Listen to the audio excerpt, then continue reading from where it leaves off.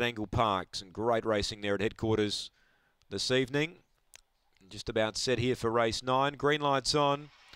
Here's the lure now. Favourite is uh, Crackerjack Ward. They're ready.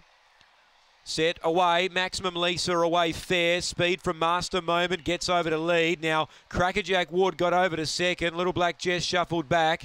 Uh, no photos to fourth. Then Tyshonix and dropping out Maximum Lisa after she couldn't lead. The Ruffy Master Moment a length clear. Crackerjack Ward. Tyshonix waits for the run. Now it comes. Tyshonix goes up to Master Moment. Tyshonix defeats Master Moment. No photos. Little Black Jess for the minor end. Then came Crackerjack Ward and Maximum Lisa last home. Tyshonix. Tyshonix, number eight. Too good. Railed up. Got underneath the master moment to prevail. Four will get third. No photos. Two will get fourth. Little Black Jess. So the rank outsider runs second.